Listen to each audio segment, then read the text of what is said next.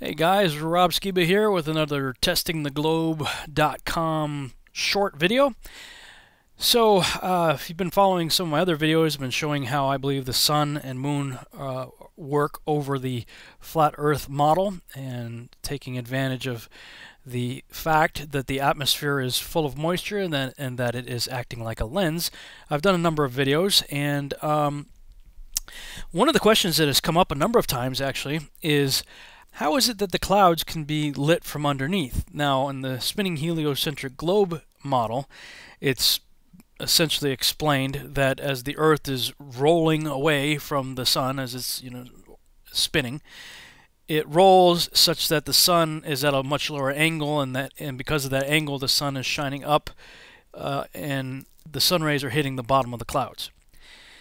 So when you show people the model of the sun going around in a parallel path above the circle of the earth, they say, well, you know, in that situation, the sun is above the clouds, and so how could it possibly illuminate the bottom of the clouds when it's doing that?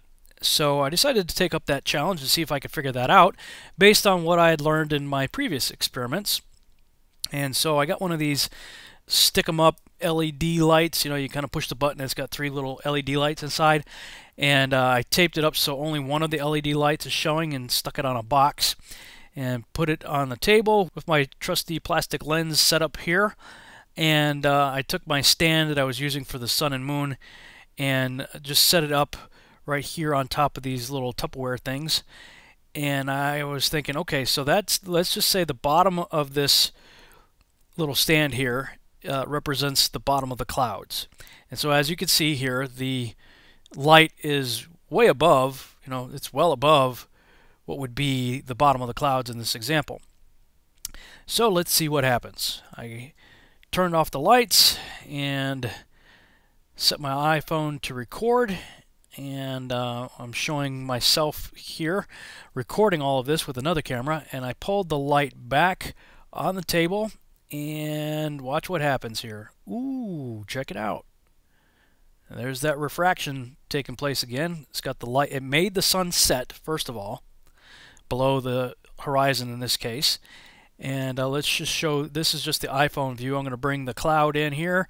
And the platform represents the bottom of the clouds. So the sun's going, going, going, going down. And oop, there it is.